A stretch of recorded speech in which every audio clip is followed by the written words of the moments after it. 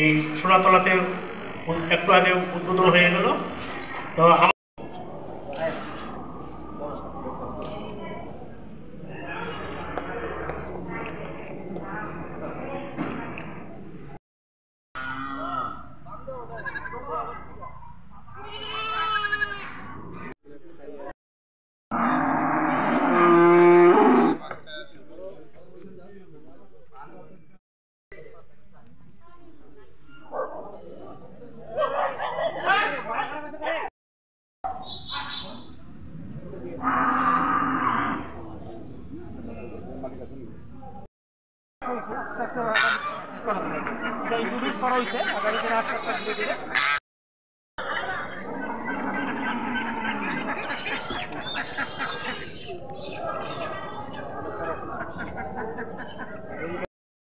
প্রতিপালন করে থাকে।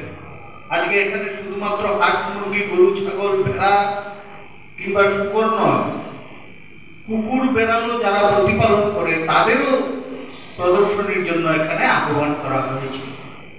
উনি দেখাচ্ছেন যে কুকুরও এসেছে। তো প্রত্যেকটা প্রাণী আজকে আমার পূর্ববর্তী বক্তা বলেছে প্রতিটা পশু জেনে রাখবেন আমাদের কোনো না কোনো ভাবে উপকারে আসে। কোনো না কোনো ভাবে উপকারে আসে। আমরা যদি গাভী পালি, তাহলে আমরা তার থেকে দুধ পাই। আমরা যদি ছাগল পালি, সেই ছাগলের যেমন দুধ আমরা খেতে পারি, তার থেকে মাংসের ব্যবস্থা রয়েছে। মুরগি একই রকম ডিম আমাদেরকে দেয় সেগুলি মাংসের চাহিদা পূরণ করে? আমাদের এই ত্রিপুরা রাজ্যে দীর্ঘ বছর আমরা কিন্তু শুধু মাছ করতে হবে। এই স্লোগান বা এই বক্তব্য আমরা শুনেছি।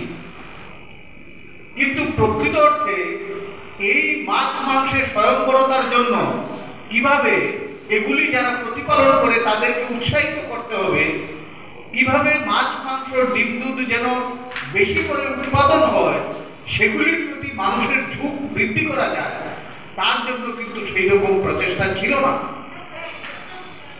আজকে সরকারি উদ্যোগে আমাদের ডোর স্টেপ কর্মীরা সেখানে মানুষের বাড়ি বাড়ি গিয়ে গরু গো প্রজননের ক্ষেত্রে সেখানে ইঞ্জেকশন দেওয়ার ক্ষেত্রে সহযোগিতা করছে। এখানে উপস্থিত আছেন গতকালকে আমাদের কাছে ওনারা গিয়েছিলেন আমাদের অমিত্র কীট মহোদয়ের সঙ্গে দেখা করার জন্য। এবং কিছু দাবি সনদ তারা রাজ্য সরকারের প্রতি রেখেছে। সেই দাবি সনদ আমাদের বিভিন্ন এই এবং অমিত রক্ষিত মহোদয়ের হাত ধরে মুখ্যমন্ত্রীর কাছে কীভাবে সেটা পৌঁছানো যায় সেই আলোচনার জন্য এসেছিল।